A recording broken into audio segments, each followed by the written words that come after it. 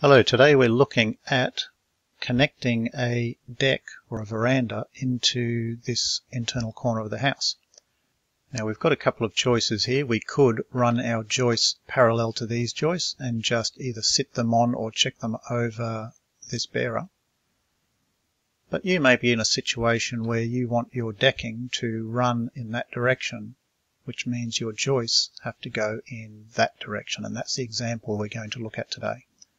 So connecting these joists into the house, we're going to use a method described in the National Construction Code.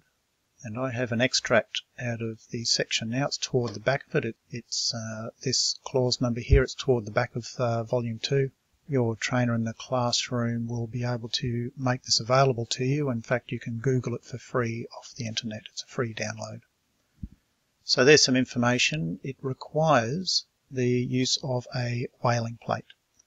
There's the size that it has to be when you're using a timber waling plate, and there's some information on how it should be fixed in. And there's even a couple of diagrams on the next page with masonry details and details in the timber, and this is the one here that we're interested in. So first thing we're going to do is attach a waling plate to the side of this joist.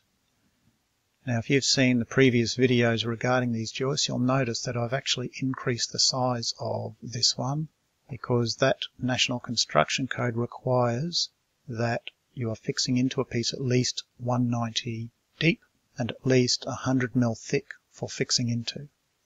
Now you'll notice I've got a double joist here purely because I'm reusing a drawing from a previous video and I'm filming this late at night and I can't be bothered to redraw it. But I could just push those joists up together, make a hard double joist. That gives me 100 mil worth of fixing.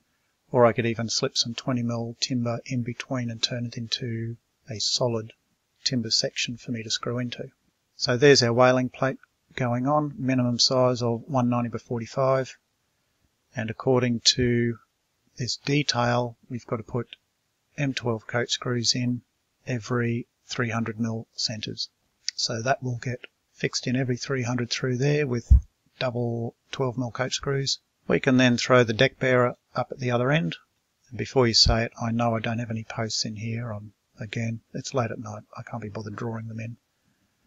There's our bearer checked over there. Bearing in mind if we cut more than a quarter out, we'll need to put a framing anchor around there to support the bottom of the bearer. And then we throw our deck joists in. Now you'll notice I'm using an inline system here. For whatever reason, the client on this job has asked for as much clearance under the deck as possible. Perhaps they're worried about rising damp. They want to keep the timberwork plenty clear of the ground.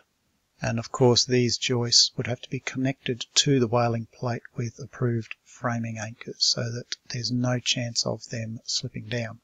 And that's the basic construction of an inline system using a waling plate against the house. Now coming back to what I mentioned a moment ago about making sure that joists cannot slip off bearers, there's an excellent document all about deck and balcony safety and this document is a good one to have a read through. It's all about preventing deck collapses which have cost quite a number of lives in recent years. I'll leave a link to this document in the description. There we are. Thank you and good luck.